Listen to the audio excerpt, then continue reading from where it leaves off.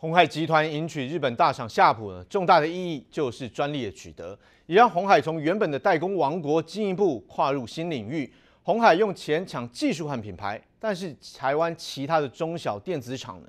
台湾电子厂有上千家，其中很大一部分就是做代工抢订单，有代工王国的称号，却没有创新以及品牌行销的概念。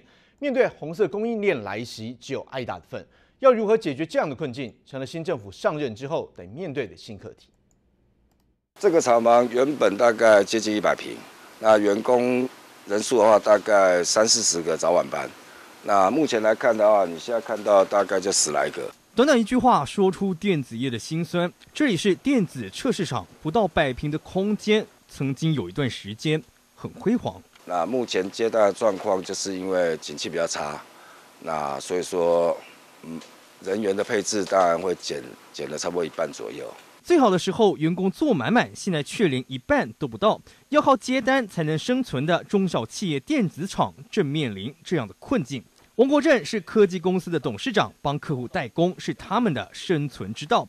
但随着红色供应链崛起，这样的赚钱之道变得越来越模糊。目前代工。在跟中国大陆所谓红色供应链竞争的话，我们是完全没有机会。因为中小企业你本身资金的部分就是不足，你跟大财团或是我们讲上市上柜公司来比，绝对不足嘛。要跟大陆抢订单，谈何容易？放眼台湾电子业，大至台积电、大力光、红海，小至电子厂，代工这两个字是挥之不去的标签。哦，台湾的中小企业就是说，它是很很打拼。但是它有一个迷思，就是说它靠国国际的大厂的订单。假设说它这个手机有一万一万台，下个月有两万台、三个三万台，它不断的扩充。有一天，当这个厂商他不继续给他订单的时候，他这个公司就垮了。这家历史悠久的机械厂打的是安全牌，看着红海和夏普台日联姻很无感，因为对他们来说，有员工要养，不如先过好每一天。